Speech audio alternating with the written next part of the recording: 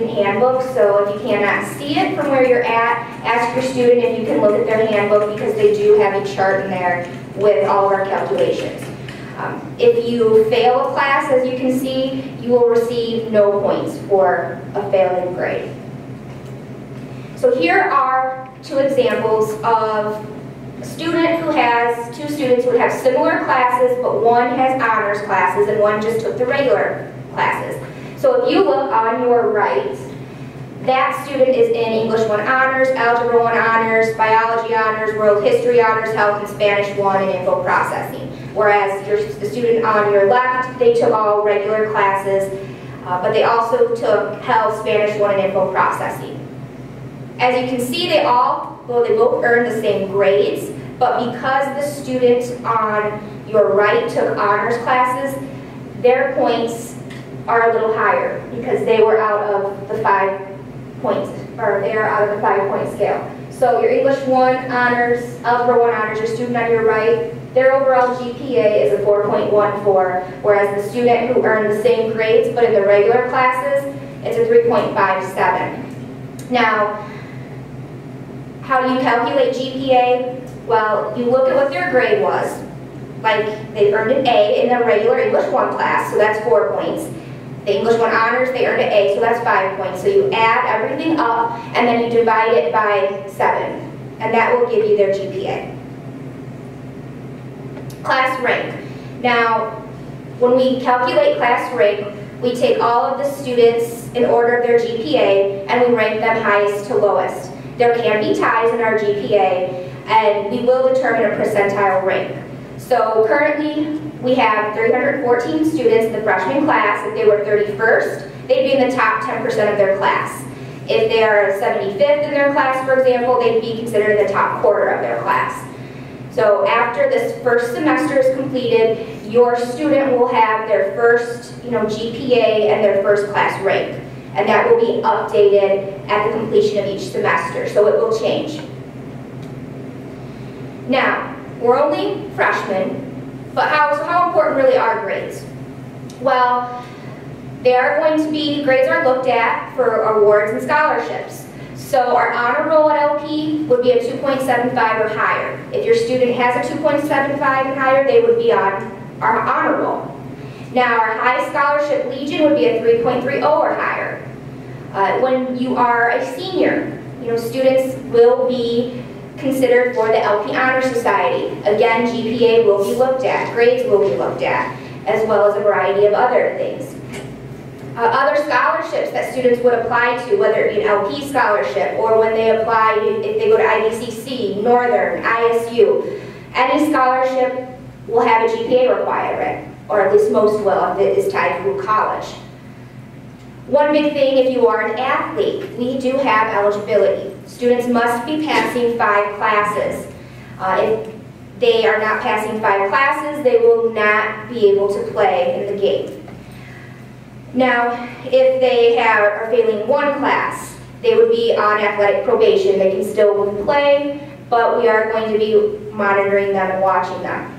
Also, college admissions are going to be looking at the whole picture. They're going to see your student's transcript with grades freshman, sophomore, and junior year by the time they apply. And then senior year, again, they'll have to send their transcripts so that the colleges can see all of their grades.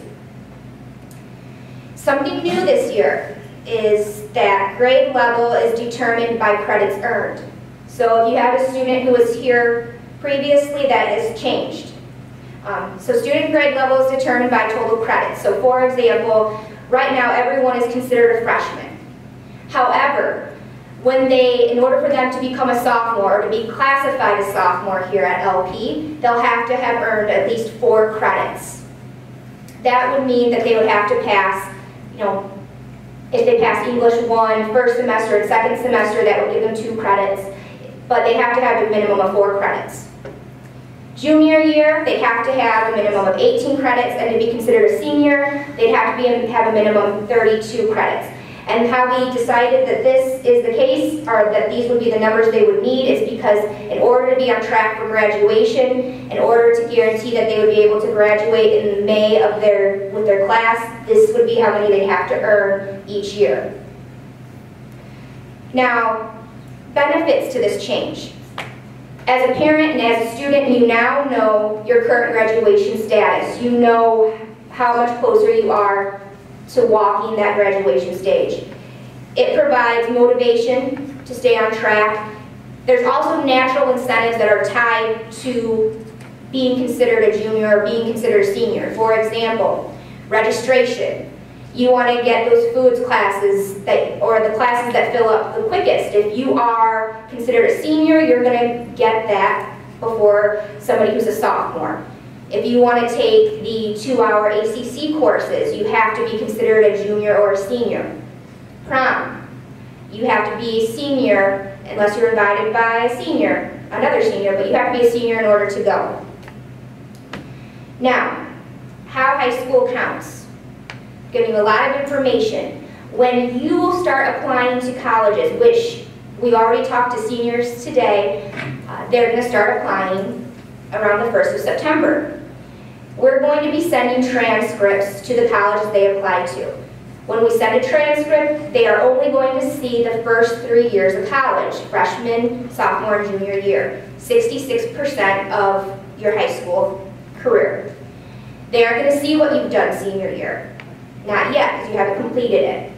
So what they are going to look at is how you performed as a freshman, how you performed as a sophomore, how you performed as a junior, what your GPA is, what your class rank is with all three of those years. They aren't going to see your senior year yet. So make sure you start strong. One of our incentive programs is something near and dear to me, Renaissance. Um, I'm one of the coordinators for Renaissance, and if you don't know what that is, it's a nationally recognized program. And what we do is we encourage, we motivate our students to strive for academic excellence, uh, to you know, lessen their discipline referrals, to improve attendance. And we've been successful. Uh, I'm going to tell you a little bit about Renaissance cards. When we started this program 11 years ago now, we started with Renaissance cards and only about 40% of our student body met this criteria to earn a card. I can now proudly say we are over 70%. Now, there are different types of cards you can earn. For example, a gold card, that is the Cadillac of our cards, that's the one that everyone strives for. So that would be a 3.30 or higher, you have no discipline referrals and only one or less discipline, or excused absences, sorry. Um, we go all the way down to a red card, and that would be just simply your GPA as increased by 0.5 or higher from the previous semester. So your students may earn a gold, silver, or bronze card um, this first semester. They would, and we would look at that in January before we would give them their card and determine that. All right, checking grades. So PowerSchool is a great resource. There's a parent portal on the LP website. It's updated regularly by teachers. Uh, you can have both parent and student logins, so you can check that out you can log in and see if your student has missed an assignment. We will mail home uh, grade reports every nine weeks, and then the semester, at the end of the semester, we will mail home final grades. With that, I am going to hand it over to Mr. Duffy.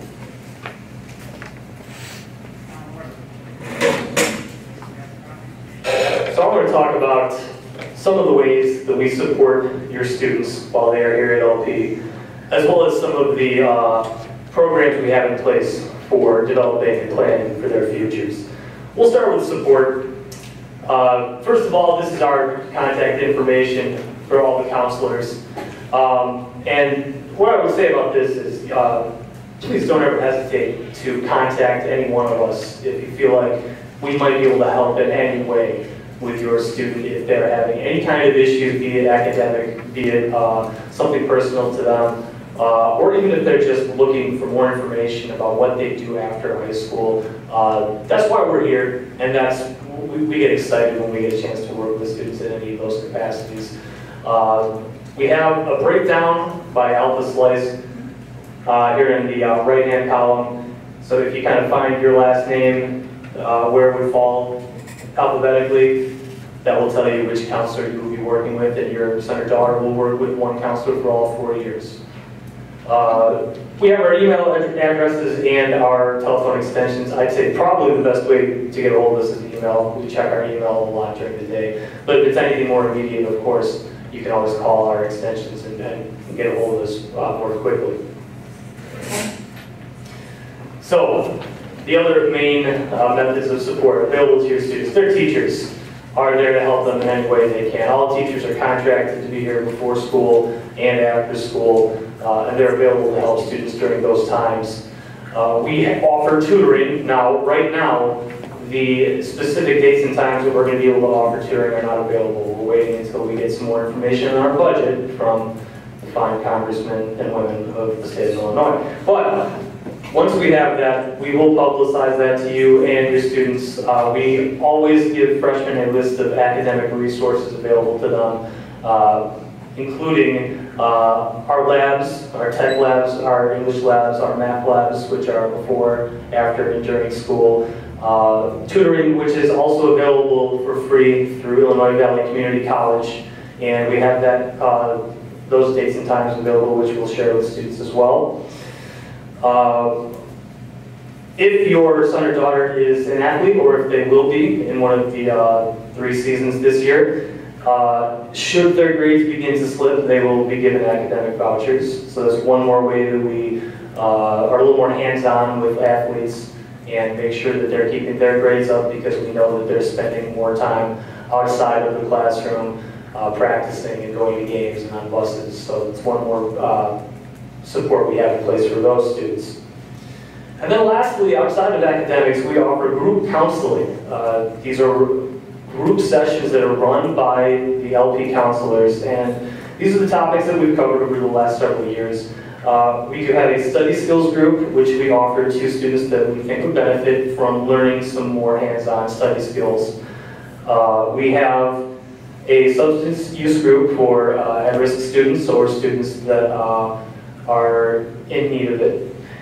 And we also offer a grief group and an empowerment group. And I would just want to say that if any of those sounded like something, like if a bell rang when I said that, that you think that your student might benefit from uh, participating in a group for any one of those topics, see us after the presentation. We'd love to know if we can help your student in any of those areas. So these are our math labs, and math can be the scariest part of the day for some students and some parents. And I hear a lot that, you know, as a parent, there's a concern because they may now be at a point where, specifically in math, you may feel like you can't help them anymore, that the content may be a little uh, past what you recall from when you were in school, and that's okay. We don't expect you to go home and teach them algebra. That's why we offer these math labs. So uh, this is a sheet of paper that we give to freshmen, and if they have a study hall, it's easy because they can go to the hour that they have their study hall, and they can find which teacher has a math lab that hour where they can get extra support. And if not, we do have a morning math lab with Mr. McKeever. We do have an afternoon math lab with Mr. Burgess two days a week. There's always some time available for students to get uh, help in math in a more a smaller setting, not a large classroom. So definitely, if you're already hearing uh, some complaints from students regarding math, maybe file away this, this note that they do have support available to them. And as far as planning for students' futures, we do a lot of fun activities with career exploration.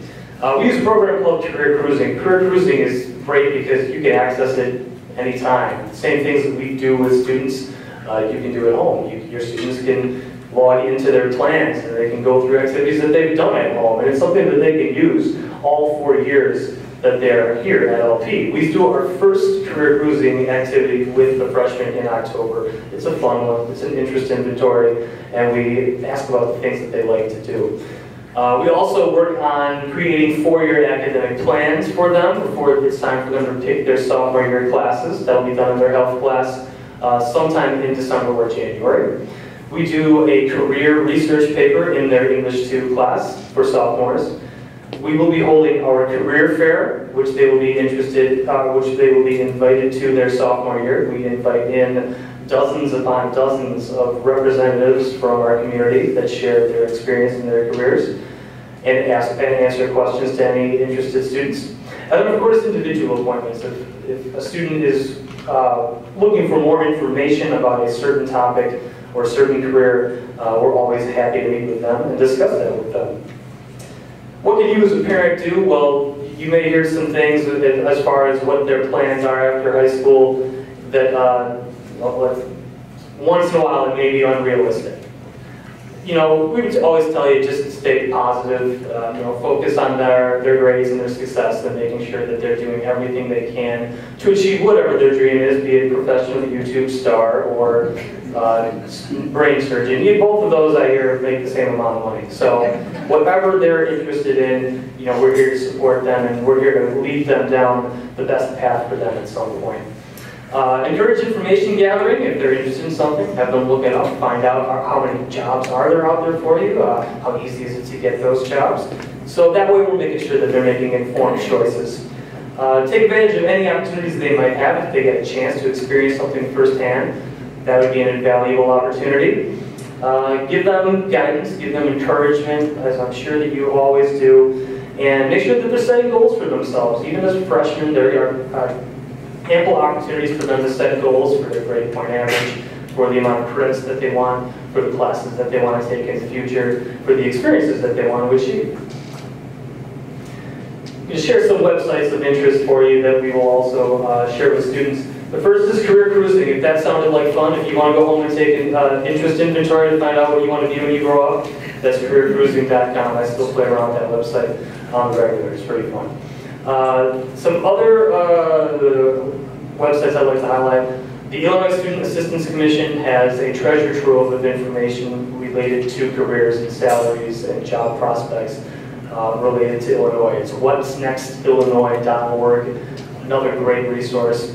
There is also the Occupational Outlook Handbook and the Occupational Information Network, or ONET, and those are some good bedtime reading if you're really, really into careers and jobs. So new this year, so a new program that we will have for the freshman class of 2021 is our SPARK program, and I'm excited about it. The SPARK program stands for, I want to make sure I get this right, because it's new.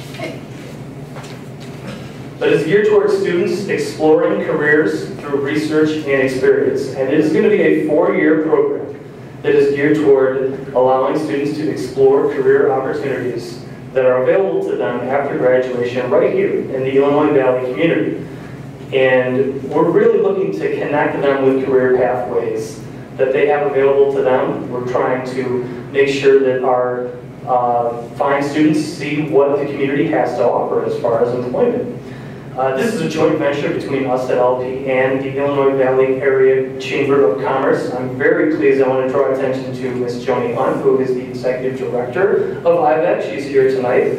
And she's up here with a sign-up sheet for our Spark program because well, right now we're thinking we're only going to be opening this to 30 freshmen, and we wanted to give you the first chance to sign up tonight. If this sounds like something that your student might be interested in, please come see uh, Joni or I after this presentation. We'd love to get you more information. Um, the program is going to be very fun because we anticipate that they will have chances to get out and have community field experiences and even lead them to possible internships by the time they get to their senior year. So as far as college and career planning, what can we do as freshmen? Well, first of all, I want you to see that the difference between the bare minimum high school graduation requirements and what colleges are expecting to see from their applicants, it is different. Uh, English, everyone will have to have four years to graduate, and that's what colleges expect. But as far as math goes, while we require three years to graduate, many colleges are going to expect a college-bound high school student to have four years of math. And it might be good for students to know that now if that's their plan, if that's their future. Same with science, same with social science. They're looking for somewhere between three and four years, depending on the college major that they wish to pursue. And then one more important note to highlight for students that are really seriously considering going right to a four-year college or university. We like to advise them to think about taking a foreign language because there are schools that require it for admission. And if a student isn't positive right now where they want to go, we want to try and prepare them for all avenues. So, because a college may have a foreign language requirement, we may like to recommend a minimum of two years of foreign language students, which we may have done when they were registering for classes for this year, and if we haven't, we will when they register for their sophomore year classes. If they are interested in pathways in career and technical education, we have a wealth of opportunities for them. In grades 9 and 10, they can take a class called Introduction to Technology, where they see all five of our CTE sections. Can I name them off the top of my head? Let's find out. Welding, machine skills, woods, electricity, and drafting, go me. They can see everything. They get week, they get five to six weeks of all of those sections, and then when they are sophomores through seniors, they can take a one-year focused semester class in any of those courses. If uh, their schedule allows, by the time they are juniors or seniors, they can sign up for classes through our Area Career Center. Area Career Center classes run for the whole year, and they are two hours long, and they are focused on getting students uh, some kind of starter certification, some kind of starter credit to certify them to actually do the job that they want to do, be it welding, be it health occupations, be it uh, computer automated drafting. And those are all available, more information on our website and our program of study. But once students start to develop those interests in freshman and sophomore year, then we lead them in those directions. And this is our philosophy. This is our philosophy to students and also to you as their parents. You know, students have to go to high school. It's something they have to do. So they might as well make it count. They might as well get the absolute most out of their experience. And whatever they decide to do after their four years here at LP done, we want to make sure that they have every opportunity available to them. We want to make sure that they know that what they do now directly affects their future. So no matter what that is, we want them to start thinking about life after these four years, life after high school, expect good things for themselves, expect success in the future, and to keep their options open by giving it their best effort in all areas. I will pass it over to Mrs. Meg.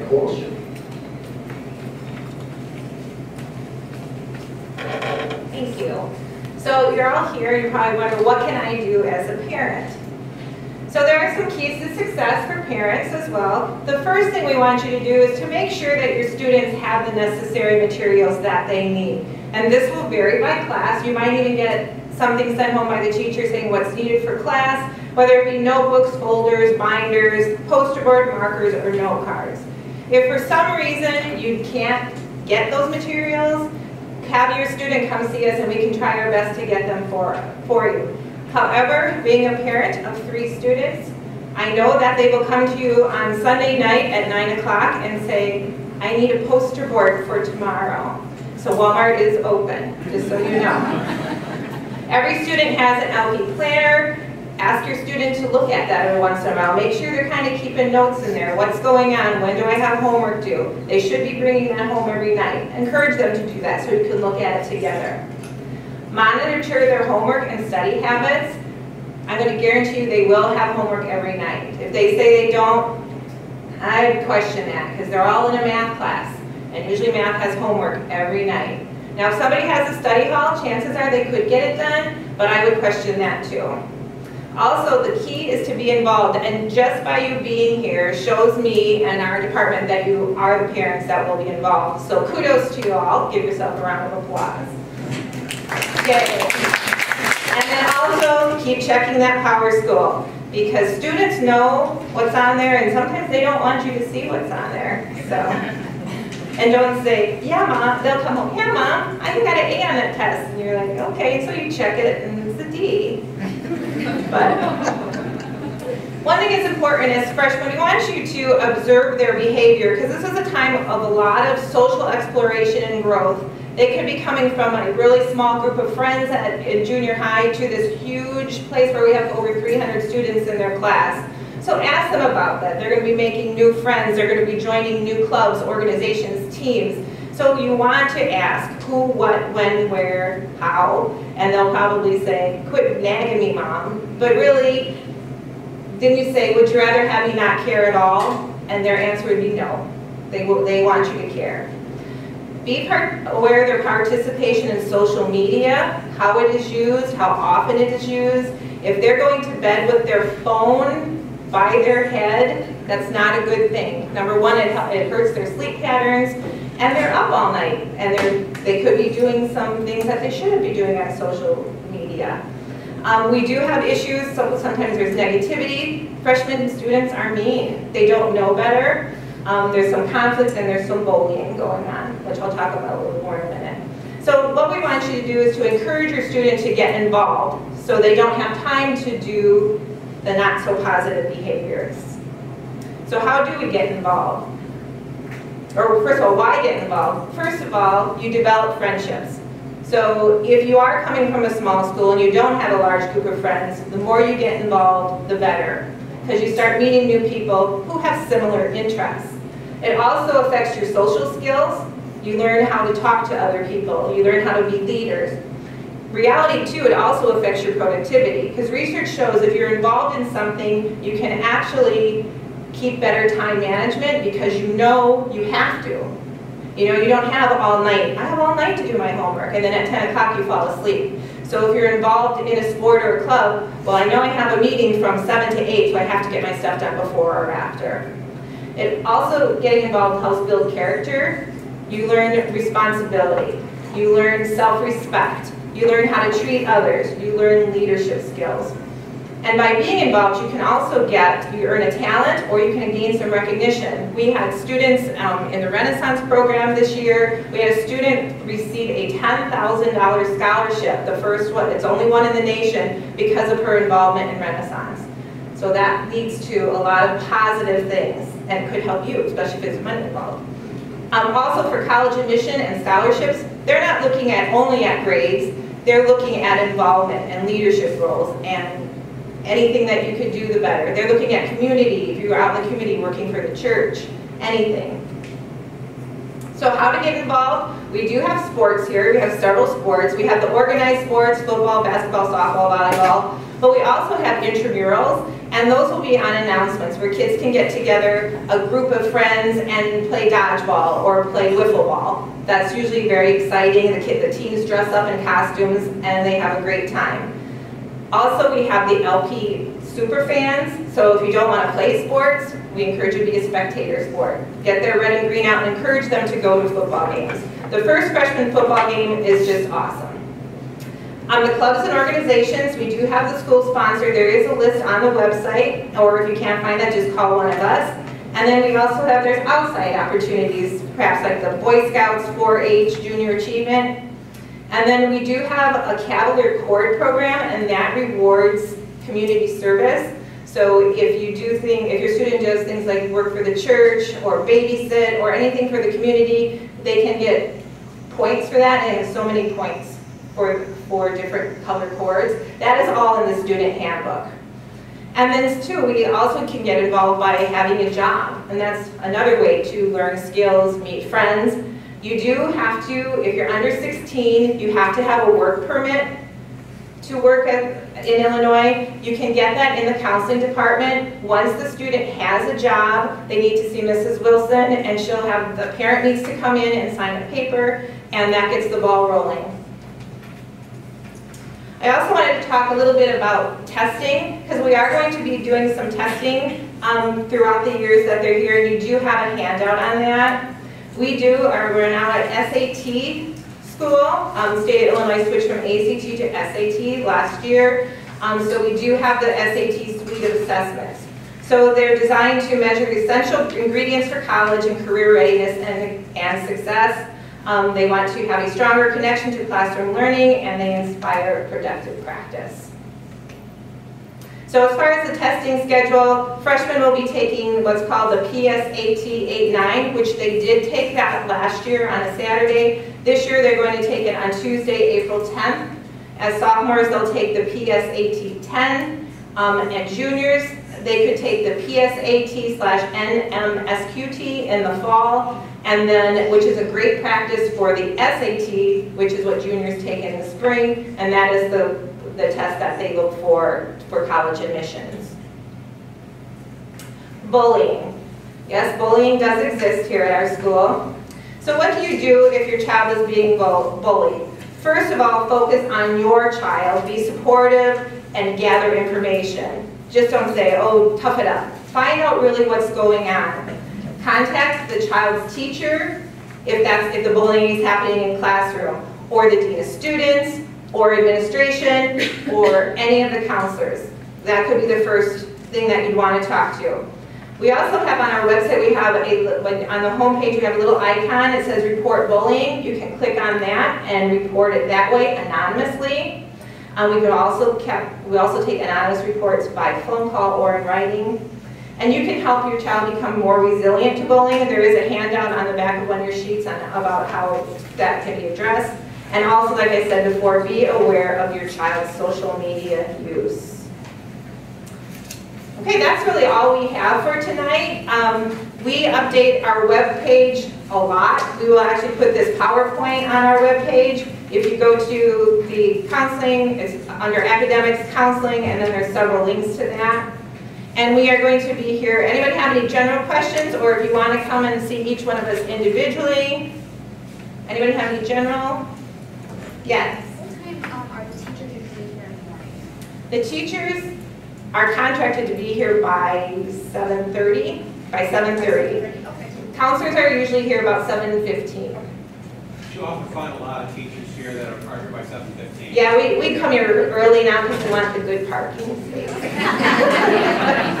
And we want to help your kid. And they are here at the minimum till 3:10. However, most teachers will stay later, especially if they know a student is coming in like the day before and they would say, can you, can, tomorrow can you help me? They would, they'd stay later. Okay. the So just majority. checking to see like if I needed to get in contact with one of them, so about seven fifteen? Yes, Okay. yes. Sounds good, seven fifteen, seven fifteen. And teachers do have prep periods, so if they can't get back to you right away, a lot of times they can call during their prep period. So if you do call and leave a message, just kind of put down when you're available, because they might be able to get to you. Like you can say, well, I'm working till two, if you can call me after then, that would be great. Thank you. Okay. Yes. kind of on the same note for after school, like if they have to stay after school and see like a teacher or go to the math labs or do any other activity, what's the latest that they can have access to the school? What's, the what's the latest they can have access to the school? Well, I mean, you'll have staff here that sometimes stay much later than that. The building is, is technically open until 9, 30, 10 o'clock at night. I mean, we're not gonna have people there that, that, that late in terms of extra help. Um, but the building, the building is open, um, much later than two forty or three ten when faculty start to leave. A lot of students are in the new cafeteria, like down by the locker rooms, and that's, they sit and they wait for rides and they do homework there, and they or they wait for coaches or other people or brothers and sisters. So that's usually after hours, if they're not in the lab, that's usually the hub. And those doors are open more because we have people practicing all the time. And in the winter, when we have our indoor sports, there's people in the gym till probably nine o'clock, Okay. so. Yes? Why did you steer, steer clear from the ACT versus the SAT? That was a state of Illinois decision, so we followed them. They told us. Are colleges following the same too, so you don't have to like, we don't have to worry about trying to get our kids to get an ACT for? No, colleges have always taken the ACT or SAT. It's just that we've always been an ACT state and now we're SAT. You know, like our current juniors, we're encouraging them, our, our current seniors, to take both because just to see which one they would do better on. And you can take both if you want. There's a cost to the ACT where the SAT is going to be provided free. But, you know. Anything else? Okay, well, if you have any questions, you will be here for a while, and then if you want to sign up for the Spark program, Joni, sorry, Joni is right here. If you have any questions, please come up, we'd love to answer them.